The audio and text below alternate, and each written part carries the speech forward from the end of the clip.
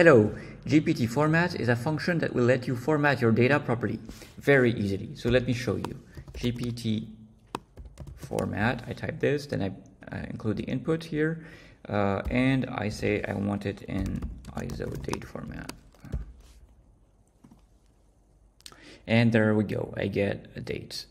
I can drag this down now. And as you can see, I got the date of in the same format of every input here. Uh, works really well. As you can see, all these formats are very different and yet everything worked fine here. Um, and also what's important to note is although these were text objects, uh, you can see it's left aligned, uh, the, the output here is our real date objects and they are right aligned and you can verify this by going to the format menu of Google Sheets and then format it uh, differently. For example, let's say that you want it uh, this way, this format here, and boom, it works. So that's really powerful. Okay, let's see another example now.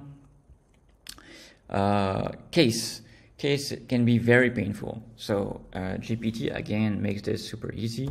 So I will do GPT formats and I, the input will be this here, powered by the ChatGPT model GPT 3.5 Turbo. This is a sentence that I want to format properly uh, with good casing.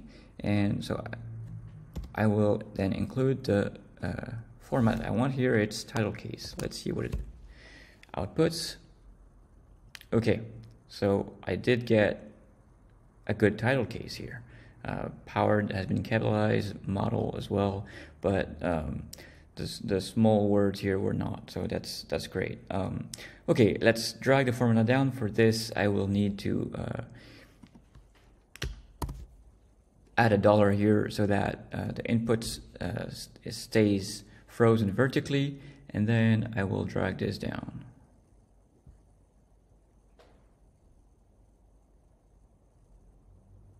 Okay, so sentence case, only the first word uh, got capitalized, that's great. Um, then lowercase, everything is lowercase. Uppercase, everything is uppercase. Camel case, snake case, kebab case, URL encoded. Uh, even base 64 encoded works. So yeah, I mean we, here we've we've left the case world, but as you can see, that's really powerful. Um, so get your cases together with this this function. Okay, next example. Uh, currency amounts. These are another example of uh, data that can be quite painful to manipulate. So here, as you can see, I have a bunch of currency amounts, uh, not very readable, uh, not standardized. So I'm gonna uh, format them all into a more standard format. So let's say ISO currency.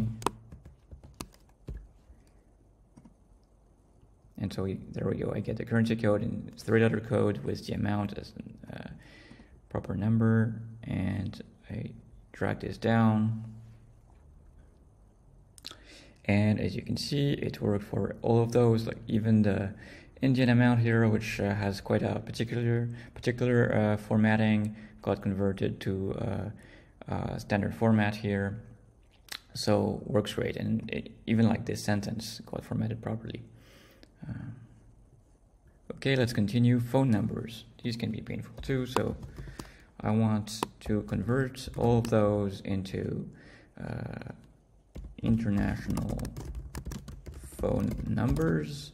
So that's what I'll do. And there we go. Okay, great. Uh, so it seems like it all worked. Um, it all works properly. So as you can see, even if the format is very dirty or even like if the, the country code is actually indicated by a country, it will it will manage to solve it uh, automatically. So that works out great. Okay, now let's do company names. Company names, and let's remove the legal entities. So uh, the input will be this, and then I will do um, company name without legal entity suffix. And I drag this down.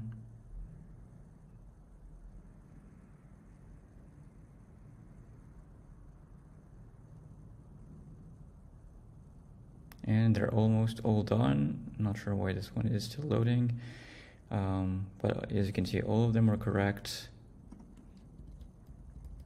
And this one, I don't know. I'm just gonna retry it. Okay.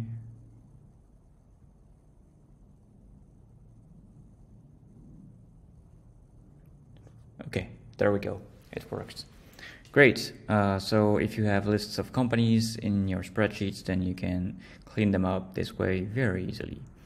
Uh, okay, and I think that's it. So that's GPT formats. Um, as always, uh, please do not hesitate to comment under the video to tell me what works and what doesn't work. It helps us improve the product. And of course, do not forget to subscribe to be notified when we publish a new video. Thank you very much for watching.